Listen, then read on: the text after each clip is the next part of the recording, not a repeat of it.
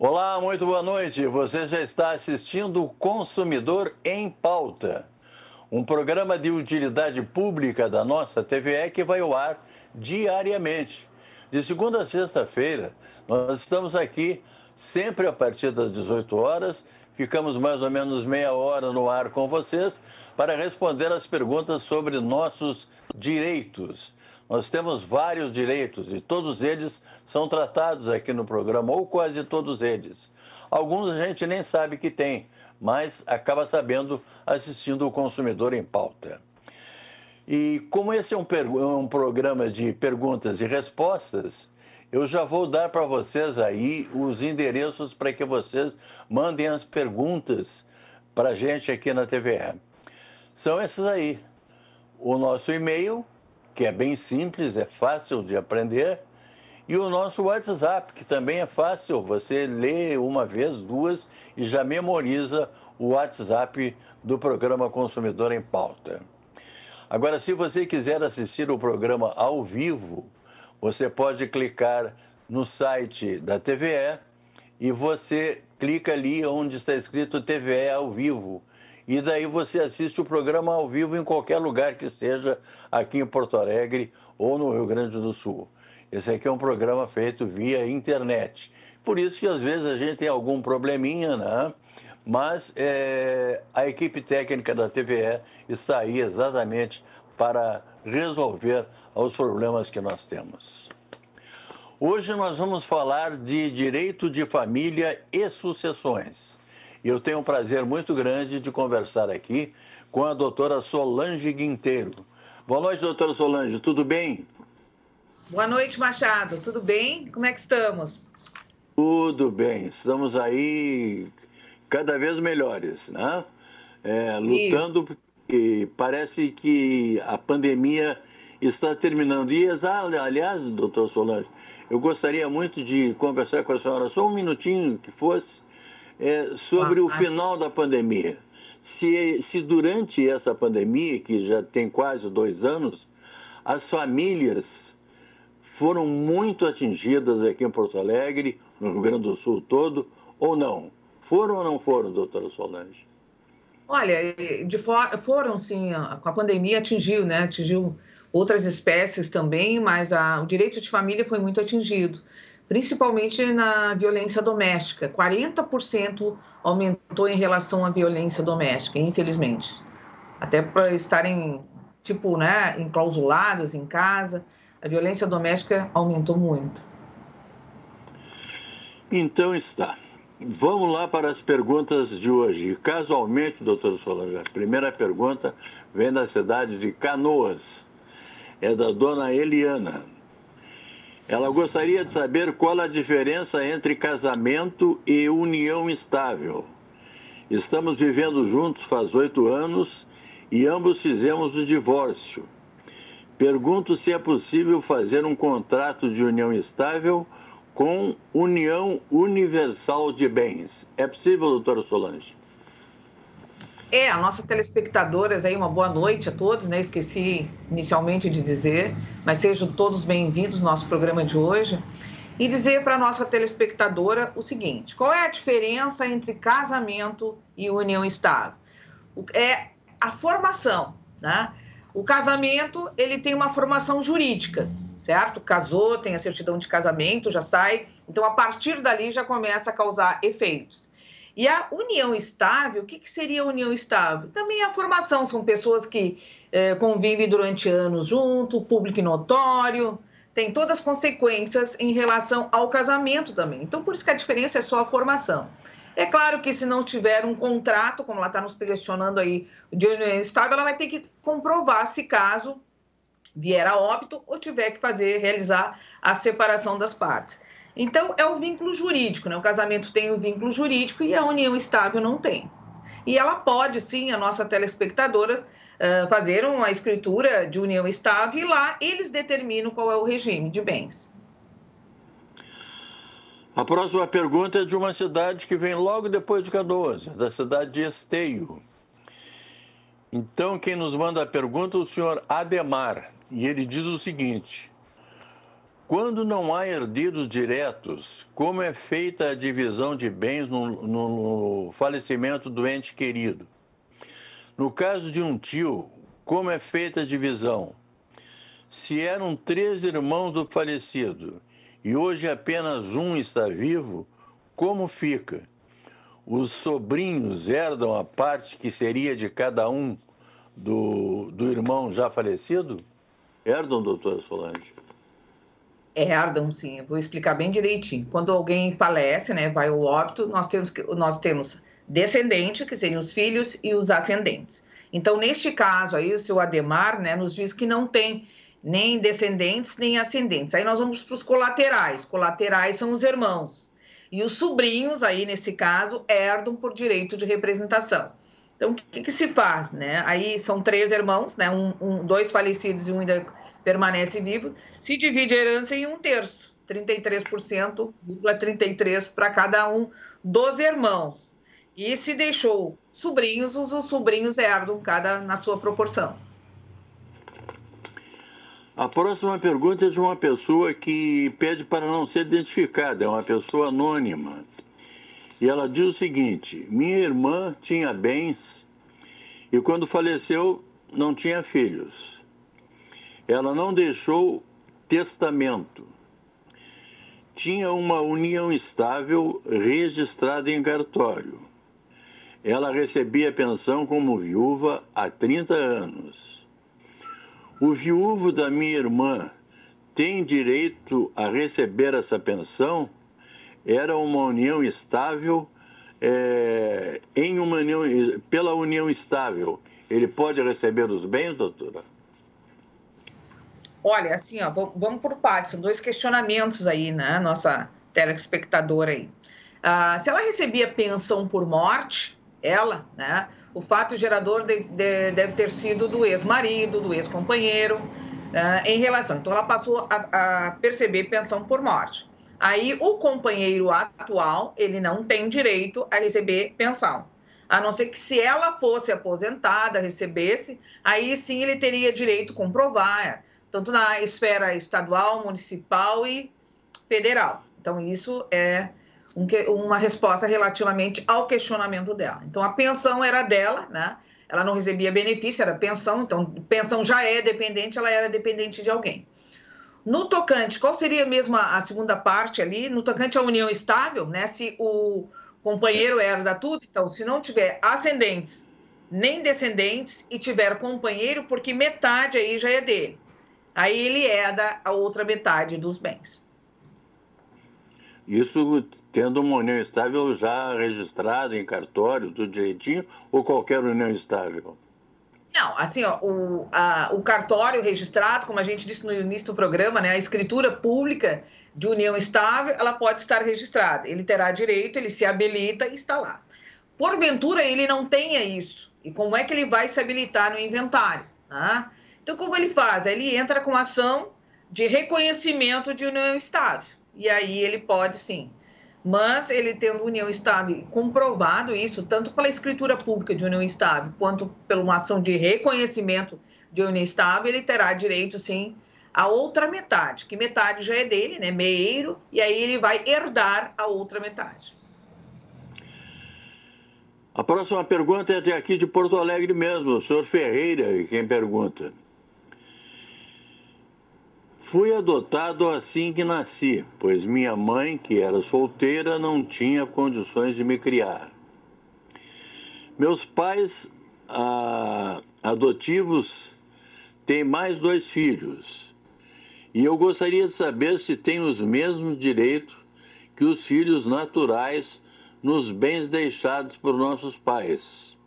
Pois meu, é, meus pais adotivos precisam fazer testamento ou a divisão será feita após a abertura do inventário? É pergunta do senhor Eduardo.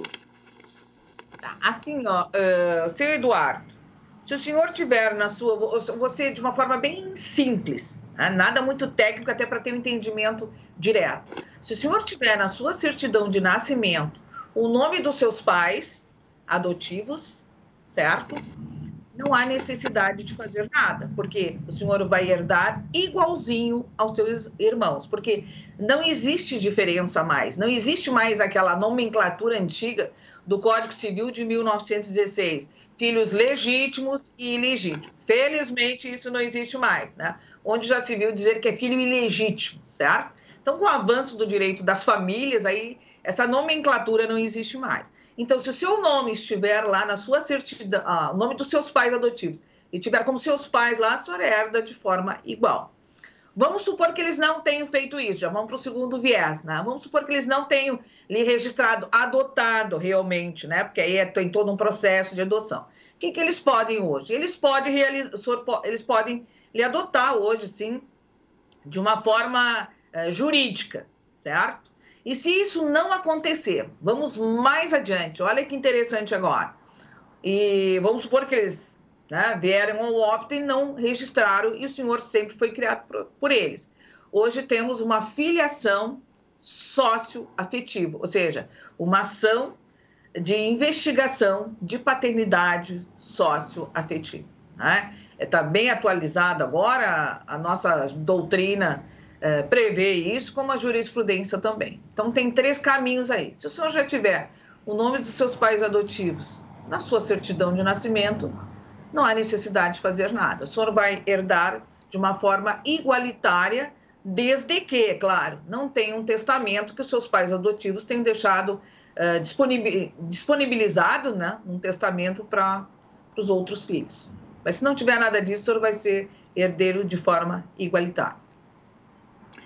Doutor Solange, então, se, ah, aproveitando que a senhora falou demais, não, não, não, a senhora nunca fala demais, a senhora sempre fala na medida certa aqui. Aproveitando isso, nós vamos fazer um pequeno intervalo. E esse intervalo é bem curtinho, é só o tempo da senhora tomar um gole d'água, doutora Solange. A gente vai e volta.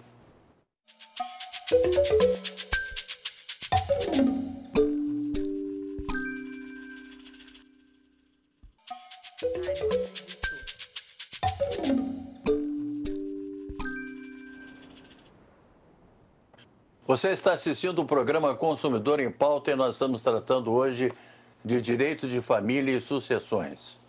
Como esse é um programa de perguntas e respostas, eu vou dar de novo aqui o endereço para que vocês saibam exatamente para onde mandar as perguntas de vocês.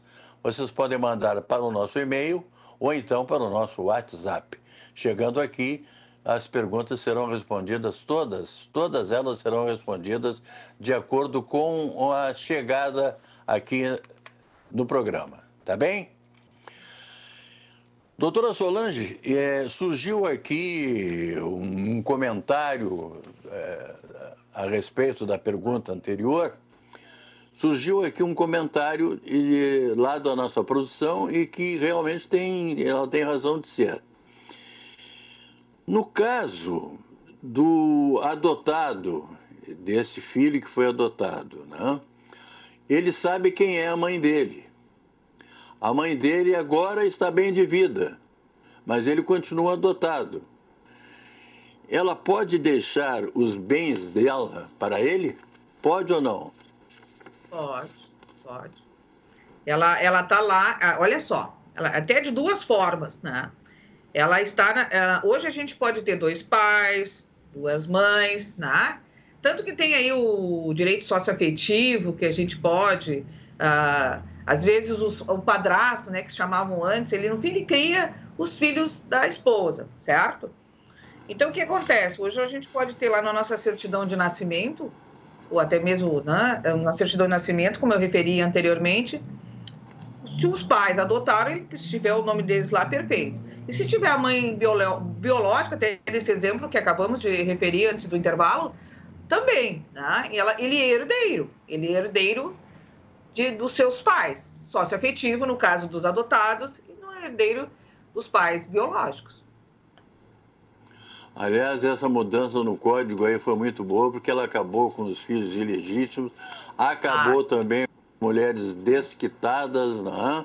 E agora, então, é, ficou muito bom. Foi um grande avanço no direito das famílias, um grande avanço mesmo. Onde já se viu dizer filho legítimo e ilegítimo. Né? Isso não, Isso era afronta à dignidade da pessoa humana. Isso aí nem nossa Constituição trouxe isso.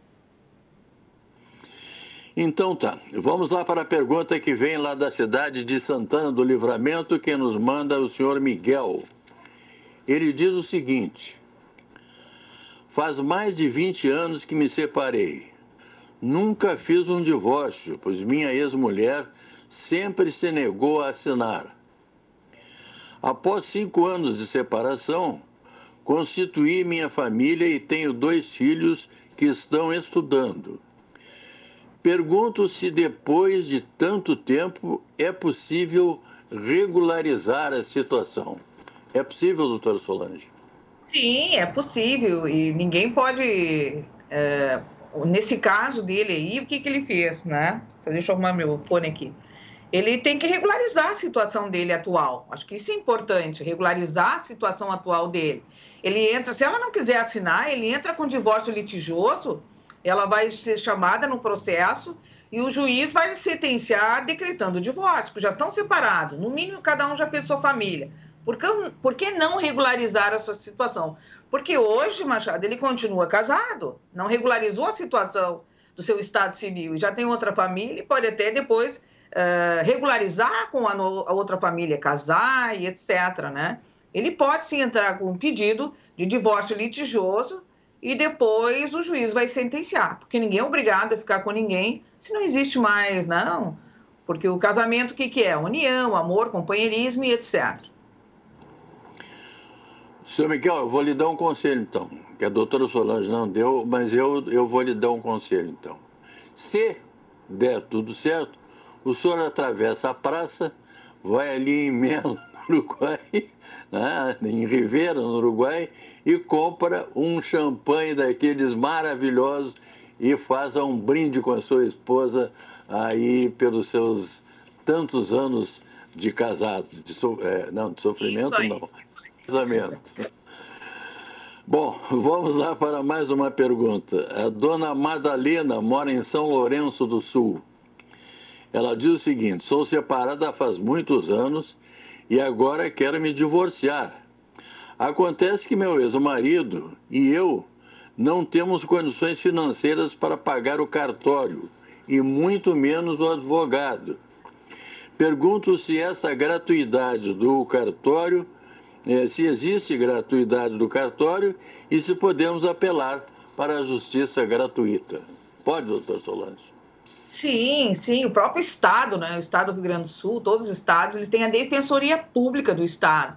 Quando as pessoas, as pessoas não têm direito ao acesso à justiça, que esse é um dos princípios constitucionais, é buscar né, a regularização perante o Poder Judiciário, ela pode sim procurar a defensoria pública ou também uh, serviço de assistência, no caso lá em Canoas se tem isso, né, através do Sajubra, da Ubra Campos Canoas, serviço de assistência judiciária gratuita, pode sim comprovar que recebe uh, até três salários mínimos, tanto na universidade quanto na, lá na Defensoria Pública. Esse é o requisito. Se a pessoa não tiver condições, ela também tem direito ao acesso à justiça, e o Estado prevê. E aproveitando a pergunta aí também, né, eu vou colocar: existe o Alô Defensoria, que as pessoas podem procurar a Defensoria Pública e nem precisa fazer processo judicial, já que é só para regularizar se faz aí uma situação da encaminhar para mediação, que é um pré-processual. O que, que acontece? Aí as mediadoras atendem, né? lá no projeto da mediação Alô Defensoria, eles, eles mesmos decidem pelo divórcio e há um referendo da defensora pública que encaminha para o juiz e homologa aí o divórcio das pessoas. Isso é bem importante, né? Aproveitando aqui, o Estado está aí com um projeto excelente do Alô Defensoria. Quando eu digo que eu gosto muito de fazer esse programa é, sobre direitos de família e sucessões, eu não estou enganado, não. Está aí a doutora Solange, que veio nos trazer uma belíssima notícia do Alô Defensoria. Quer dizer, acabaram-se os problemas praticamente, né? Alô Defensoria está aí exatamente para isso. É uma coisa do governo do Estado. É isso, doutora Solange? Isso, e, a, e esse projeto do Alô Defensoria eh, em relação à mediação, né, que hoje existe a mediação familiar. Eu acho que é importante os nossos telespectadores saberem disso. Existe a mediação familiar, né? todo aquele problema jurídico que tem com a família, o Alô Defensoria está lá, liga para lá, eles vão agendar, né? E eu até faço parte desse projeto, por isso que estou aqui tomando a liberdade, é do Estado, acho que isso é importante, os nossos telespectadores saberem. Eu sou mediadora judicial também, né? Então isso é importante. A defensoria ela tem um referendo para depois encaminhar uh, os acordos que eles mesmos decidem. A mediação é isso, né? As próprias partes decidem regularizar a sua vida, guarda de filhos, uni, uh, compartilhada, alimentos, divórcio, que é o caso aí, regularizarem, e o nosso Estado aí dá o direito ao acesso à justiça. Então a senhora já sabe, a senhora, o senhor já sabe. Quando ligarem para o Alô Defensoria, pode pedir para falar com a doutora Solange Quinteiro, que é aquela do consumidor em pauta. Tá, tá bom, bom, não, não vou conversar comigo, vamos conversar só com a defensora pública lá, que é a doutora Patrícia, né? Vamos convidá-la para participar um, um desses dias do nosso programa aí. Vamos lá. Quero, aliás, nós vamos convidar. Eu estava brincando com a doutora Solange. É, um anônimo aqui de Porto Alegre pergunta o seguinte: Antes de falecer, meu pai informou que deixou dois amigos seus como testamenteiros. Agora estamos sofrendo com a abertura do inventário, pois sempre que um dos testamenteiros pode, o outro não pode. As despesas estão se avolumando. Minha irmã diz que não podemos fazer nada, mas eu discordo. Podemos fazer alguma coisa? Pergunta essa pessoa anônima aqui de Porto Alegre, doutora Solange. Aí eu respondo de imediato que sim. O que é o testamenteiro, né? Testamenteiro é uma pessoa que a gente, aquele que realiza o testamento, deixa para cumprir o que ele quer, né? a última vontade do falecido. E se porventura o testamenteiro não estiver cumprindo com seu munus, com a sua obrigação, o que, que podem os herdeiros, que no caso da nossa anônima aí, ela é herdeira, né? Pode requerer, sim, a destituição do testamenteiro. Doutora Solange, a pergunta agora é de Cachoeirinha, quem nos manda é a dona Ivone. E ela diz o seguinte: minha mãe faleceu é, e, em comum acordo com meu irmão, decidimos indicar um advogado para abrir o inventário. Acontece que, na hora de dividir os bens, que não são muitos, o inventariante resolveu cobrar um valor altíssimo. Então a dona Ivone quer saber se ele pode fazer isso e se, se eles têm que aceitar o testamenteiro ou eles podem mudar? E daí, doutor Solange? Bom, assim, ó, é, vamos ad cautelo, como diriam os, né, a nossa, uh, nosso direito romano lá, vamos ad cautela em relação a isso. Primeiro, assim, ó, quando ele escolhe o advogado, que vai até o advogado, ele faz uma contratação de honorários. Então, o inventário ele tem lá na tabela. Segundo, o que se gasta, né? Quem vai pagar o advogado, os, os custos todos, quem é? É a sucessão, que a gente chama de espólio. Depois faleceu, né? que nem a gente sempre diz, faleceu, aberta a sucessão.